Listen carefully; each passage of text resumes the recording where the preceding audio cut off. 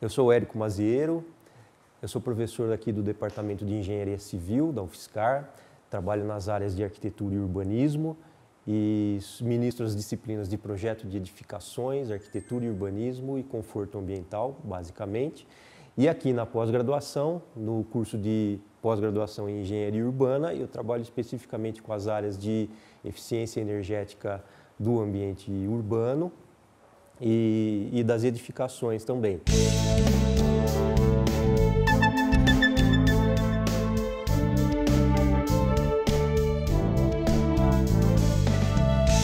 Bom, as pesquisas que a gente tem aqui em andamento, elas se referem basicamente à compreensão de como o ambiente urbano ele se desenvolve,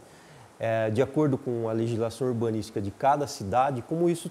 é, se relaciona diretamente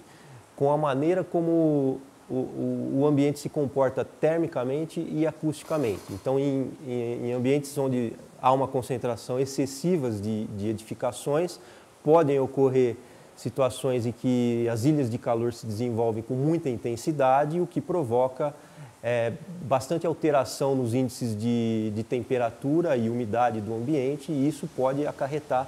ah, algumas alterações nos, ah, nos índices de de eficiência energética e principalmente no conforto das pessoas e até alterar as condições de saúde das pessoas. Com esse mote de, da pesquisa, a gente procura entender quais são os fatores que influenciam de fato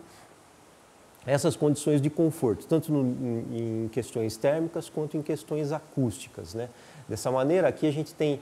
um trabalho que vem sendo desenvolvido na cidade de Araraquara, em que ele procura relacionar qual é a, a relação entre a, as possibilidades de ocupação do espaço em termos de verticalização do centro urbano e como essa verticalização que vai provocar um sombreamento na sua vizinhança pode afetar nos, nos índices de, de, de, consumo energético das edificações. E a gente não tem exatamente quanto que isso pode provocar em termos de, de alteração, em termos de, de ganho pode ocorrer algum, alguns ganhos, algo positivo para o ambiente, mas em geral essa, essa alta densidade construída que as nossas cidades vêm,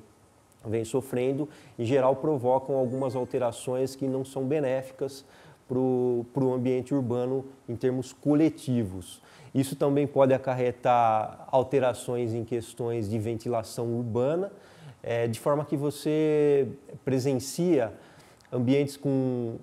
baixa qualidade ambiental e outros com excessiva qualidade ambiental, né? É, de forma que a vegetação também entra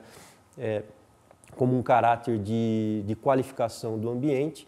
é, e a gente não tem exatamente parâmetros que possam definir quais são as quantidades, quais são as maneiras dos arranjos urbanos que melhor é, provocam essa qualidade urbana. Há uma outra pesquisa também que, que a gente está em, em andamento, que fica na cidade de Engenheiro Coelho, né, próximo a Campinas, que procura uh, estimar qual é o ganho térmico de diferentes pavimentos urbanos uh, em função da sua composição, em função da sua cor, em função do tipo de material, em função da sua posição uh, no ambiente urbano. A gente vem montando simulações de ambientes urbanos, né, de, de tanto de, de cidades é, de metrópoles quanto, quanto de cidades menores. A gente monta modelos em escala reduzida, faz uma estimativa de como esse, esse pavimento se comportaria e faz as medições em modelos reais. Então a ideia é, é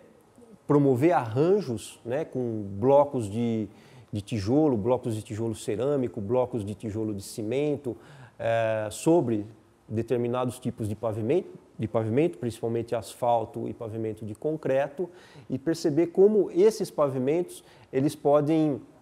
favorecer a qualidade de vida, a qualidade térmica do ambiente e também como a gente poderia alterar essas condições para poder fazer recomendações para o planejador urbano de como utilizar, em quais áreas da cidade a gente poderia uh, utilizar determinados tipos de pavimentos.